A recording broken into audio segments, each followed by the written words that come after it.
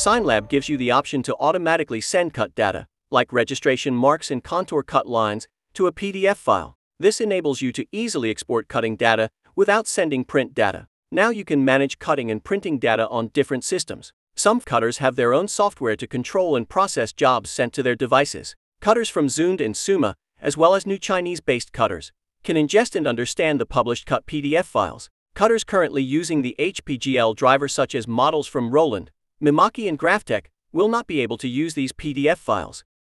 In our example, go to the layer viewer to see the layers. The layers start with simple names such as layer 1, layer 2, and so on as they are created. In this SignLab file, we created a total of three layers, one with the artwork, one for cut lines, and one for registration marks.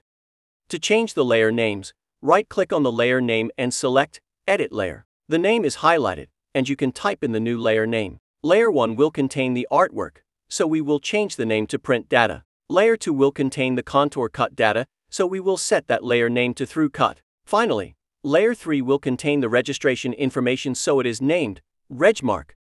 Expand the print data layer and you will see two objects with the names alpha bitmaps. This is the artwork for the stickers.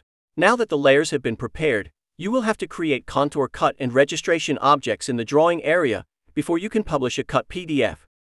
The contour cut lines will be created quickly for this example, but can be explored in depth on our YouTube channel.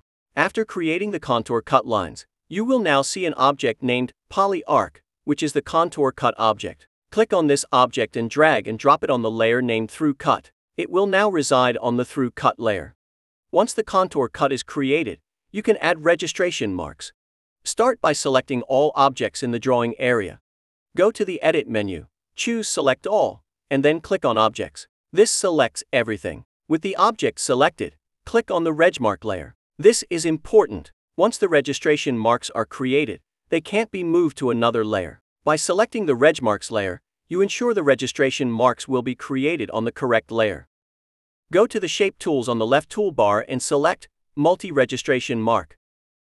Marks automatically appear around the selected object. The top area changes to settings for the registration marks. The left box contains options for types of registration marks. Next to the right is the size of the registration mark. We know that the cutter software will look for 0.2 inch circles and replace them with registration marks used by the cutter. We'll be using circles with width and height of 0.2 inches. The next section to the right sets the position of the registration marks, corners, midway, or custom position. Finally, you set the offset, which is the distance the registration marks will be set from the objects. When you are finished, click Close. The registration mark objects now appear in the RegMark layer in the Layer Viewer. You are now ready to publish Cut PDF.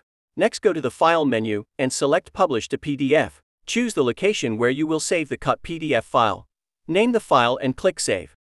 You now have a PDF that contains the cut and registration information needed for your job.